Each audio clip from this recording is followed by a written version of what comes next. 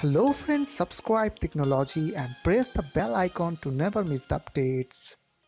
Hey guys, welcome back to my channel Tricknology and in this quick video I'm going to show you guys how to access your local drives from your VPS server. So you just need to follow me and don't forget to subscribe my channel for more updates. So without wasting any more time, let's start the video.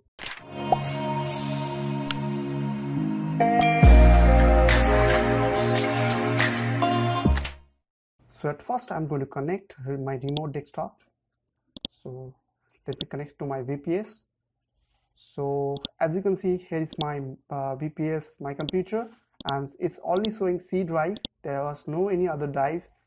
So so i want to show these drives on on this uh, this this vps i want to access this uh, this uh, partition from this vps so what i have to do is i need to disconnect the vps and let's open uh, remote desktop again.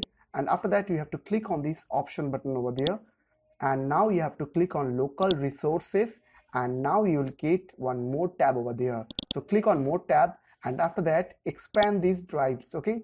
So now select your uh, partition which you want to use. So I, I need to use this uh, this drive this one this J drive. So I will choose this J drive and then click on OK and after that click on connect.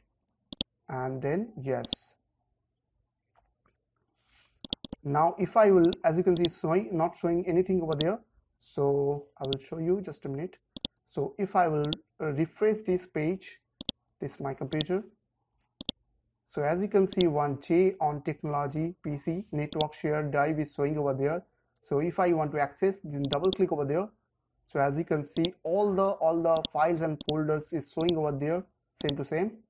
So if i if i if you want to copy any file over there on your vps then copy just right click over there and click on copy. After that right click over there and click on paste.